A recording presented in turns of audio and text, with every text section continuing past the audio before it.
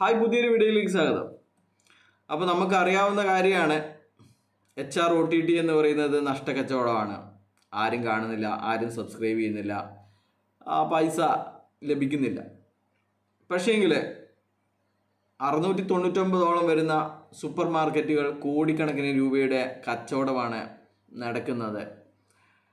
അത് അതിലെ പണം എടുത്തിട്ട് ലാഭം എടുത്തിട്ട് വൈകുന്നേരം കൂടി പൂളിൽ കൊണ്ടിട്ടിട്ട് അവിടെ നിന്ന് കോരിയിട്ടാണ് ശനിയാഴ്ച നമുക്ക് രാത്രി നമ്മുടെ ആപ്പിലെത്തുന്നത് എന്ന് പറഞ്ഞിട്ടായിരുന്നു ഒരു പറഞ്ഞിട്ട്. എന്നാൽ ചില ആൾക്കാർ ആരാണെന്നറിയില്ല ചില ആൾക്കാർ ഇവരുടെ സൂപ്പർ മാർക്കറ്റുകൾ സന്ദർശിക്കുകയും ചില ആൾക്കാർ അതിന്റെയൊക്കെ ഫോട്ടോ സോഷ്യൽ മീഡിയയിലൂടെയൊക്കെ കളക്ട് ചെയ്യുകയും പ്രചരിപ്പിക്കുകയും ഫോൺ വിളിക്കുകയും ഒക്കെ ചെയ്യുന്നതിന്റെ അടിസ്ഥാനത്തിൽ പറഞ്ഞു. ഇവിടെ കോടികളെ ബിസിനസ് ഒന്നും നടക്കുന്നില്ല. രണ്ട് മൂന്ന് മാസം കൂടുമ്പോൾ ഒരു ലക്ഷത്തിന്റെയൊക്കെ കച്ചവടം നടന്നാലായി എന്നുള്ള കാര്യങ്ങളാണ്. അപ്പോൾ അപ്പോൾ ആൾക്കാർ പറയാൻ തുടങ്ങി അപ്പോൾ എങ്ങനെയാണ് പൂളിലിടാൻ പൈസ ഉണ്ടാവുക? പൂളിലിട്ടിട്ട് അത് ശനിയാഴ്ച ആകുമ്പം അത് നൂറുപ്യം ഇരുന്നൂറുപ്യം ഒരാൾക്ക് കൊടുക്കാനുള്ള പൈസ എങ്ങനെ ഉണ്ടാവുക? എന്നുള്ള കാര്യങ്ങൾ ആലോചിക്കും. അപ്പോൾ അപ്പോഴൊന്നും ആർക്കും അറിയാതിരുന്ന ഒരു കാര്യം ഇന്ന് ഒരു സാറ് ഹയറിച്ചിന്റെ വലിയൊരു സാറ് എന്ന് പറഞ്ഞിരിക്കുകയാണ്.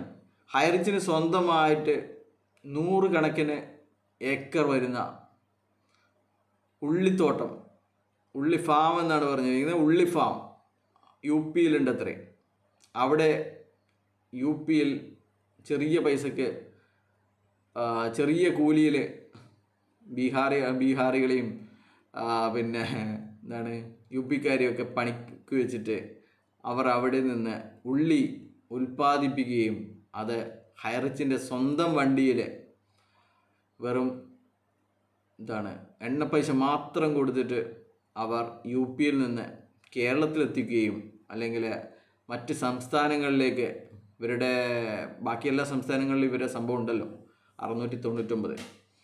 അവിടേക്ക് എത്തിക്കുകയും അതിന്റെ ഭീമമായ തുകയാണ് നിങ്ങൾക്ക് വീതിച്ച് തരുന്നത് എന്നാണ്. അപ്പോൾ ഇതൊരു പുതിയ അറിവാണ്. എനിക്കറിയില്ലായിരുന്നു ഇങ്ങനെ ഒരു ഉള്ളിക്കച്ചവടം ആ ഹൈറിച്ചിന്റെ മാനേജ്മെന്റിന് ഉണ്ട് എന്നത്. അപ്പോൾ അതുകൊണ്ടാണ് ഇവർക്ക് സൂപ്പർ മാർക്കറ്റുകളുടെ ലാഭം കൊണ്ട് ഈ ലാഭവിഹിതം അല്ലെങ്കിൽ പേ ഔട്ടുകൾ കൊടുക്കാൻ സാധിക്കില്ല എന്ന് മുന്നു പറഞ്ഞത്.